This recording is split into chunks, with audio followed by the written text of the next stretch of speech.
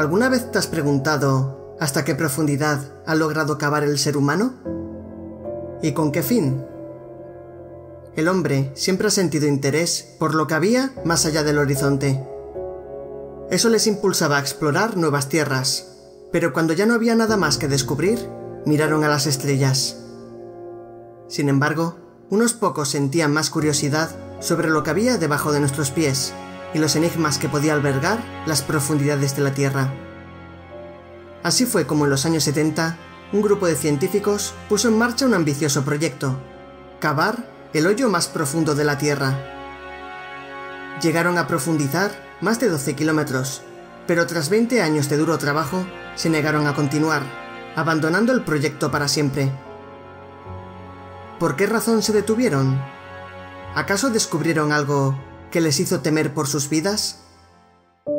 El proyecto fue aprobado por la Unión Soviética en el 1962 y su objetivo era alcanzar la misteriosa capa intermedia entre el manto y la corteza, llamada discontinuidad de mojo. Para ello, debían perforar 15 kilómetros en la corteza terrestre, valiéndose de perforadoras diseñadas especialmente para la ocasión, las Uralmash 4E y posteriormente Uralmash 15000.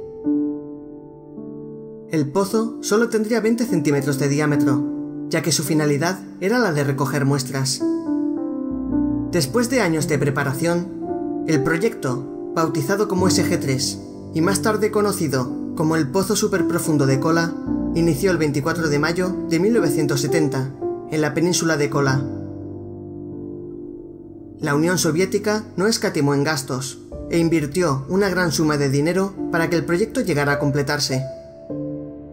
Durante años, las labores de perforación continuaron sin descanso, y a medida que se internaban más en las profundidades de la Tierra, suministraban de rocas a los científicos, ya que éstas portaban una valiosa información geológica.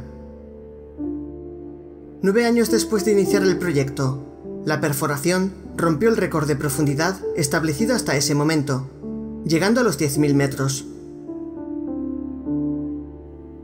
Según las fuentes oficiales, el proyecto del Pozo de Cola no pudo seguir debido a que a los 12.262 metros de profundidad las temperaturas eran de 180 grados, muchos más de los 100 grados previstos.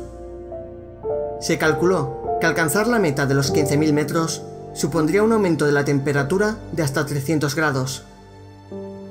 La tecnología de ese entonces no era capaz de soportar tales temperaturas y se optó por abortar el proyecto. Hasta aquí la versión oficial. Sin embargo, existen otras versiones sobre el inesperado final del proyecto del Pozo de Cola. En una publicación del periódico finlandés Amenusatia, afirmaba que las excavaciones habrían seguido hasta el año 1992, alcanzando una profundidad de 14.400 metros. A este nivel, la perforadora había dejado de ejercer presión, para empezar a girar de forma alterada, como si se hubiese topado con una gran cavidad de la roca. Los especialistas comprobaron que a estas profundidades alcanzaba los mil grados, un auténtico infierno bajo tierra.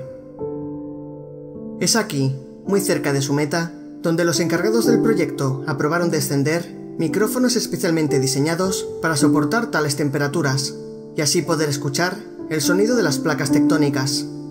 Sin embargo, lo que escucharon les dejó atemorizados. Parecían voces humanas gritando de dolor.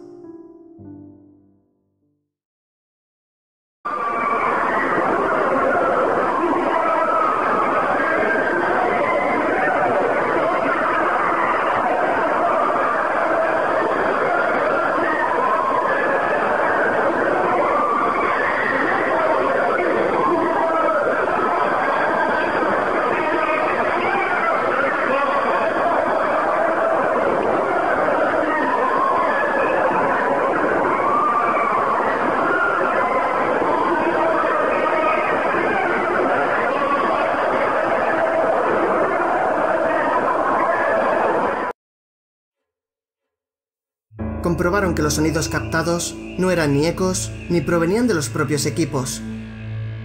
Después de realizar varios ajustes, comprendieron que ese sonido provenía del fondo del pozo y parecía las voces agónicas de cientos de personas.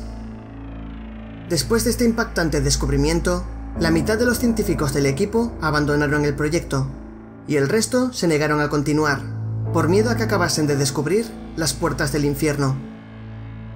Sea cierto o no lo que se cuenta, la verdad es que el pozo de cola existió, y en la actualidad se pueden ver los viejos equipos abandonados a su suerte, junto a muestras geológicas obtenidas durante la excavación.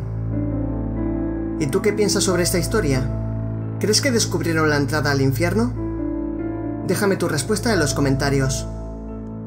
Antes de concluir, quiero darle las gracias a Cristian Toscano por recomendarme este interesante tema. Si el vídeo te gustó o te pareció interesante, apóyalo dándole un like y compartiéndolo. Si aún no lo has hecho, te animo a suscribirte a mi canal y a activar las notificaciones para no perderte mi próximo contenido. Sin más que añadir, te doy las gracias por tu tiempo y atención. Hasta la próxima.